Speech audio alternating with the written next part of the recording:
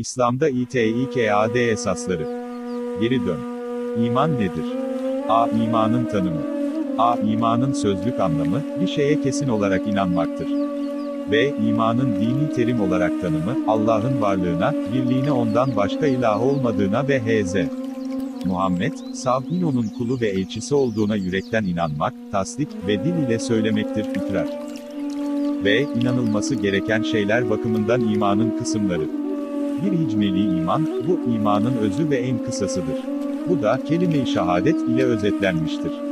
Anlamı, ben şahitlik ederim ki, Allah'tan başka ilah yoktur, yine şahitlik ederim ki, Hazreti Muhammed onun kulu ve peygamberidir.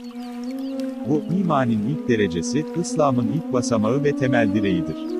Allah'ın varlığını ve birliğini, H.Z. Muhammed, Allah'ın peygamberi olduğunu yürekten tasdik etmek demek, onun haber verdiği şeylerin hepsinin doğru olduğuna inanmak demektir. Ancak, H.Z.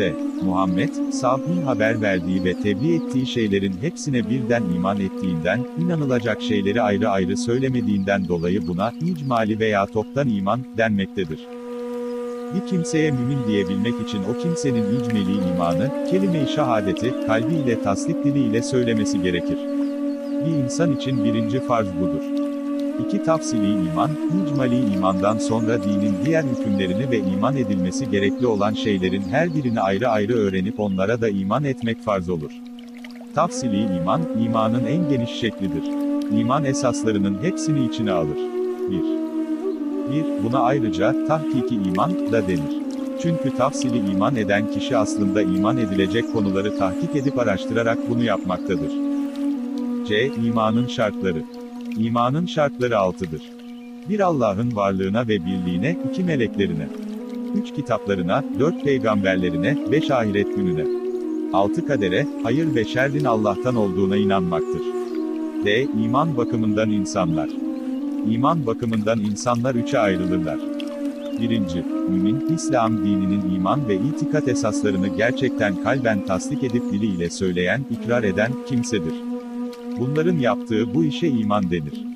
İkinci, kafir, İslam dininin iman esaslarına inanmayan H.Z. Muhammed, Sav'in peygamberliğini kabul etmeyen kimsedir. Bunların yaptığı bu işe küfür denir. Üçüncü, münafık, Müslümanların arasında inandığını söylediği halde kalbiyle İslam dininin iman esaslarına inanmayan kimsedir. Bunların yaptığı bu işe nifak denir. Dışı mümin, içi kafir olanlardır, konuştuklarında yalan söylerler, söz verdiklerinde tutmazlar, emanete hainlik ederler. Ey, inanma ihtiyacı ve Allah'a iman. İnsan, beden ve ruhtan oluşan bir varlıktır. Yeme, içme, nefes alıp verme gibi olaylar bedenimizle, inanmak, sevinmek, mutlu olmak gibi olaylar da ruhumuzla ilgilidir. İnsanı diğer yaratıklardan ayıran başlıca özellik, işte budur. İnsan, beden ve ruh yapısıyla bir bütündür.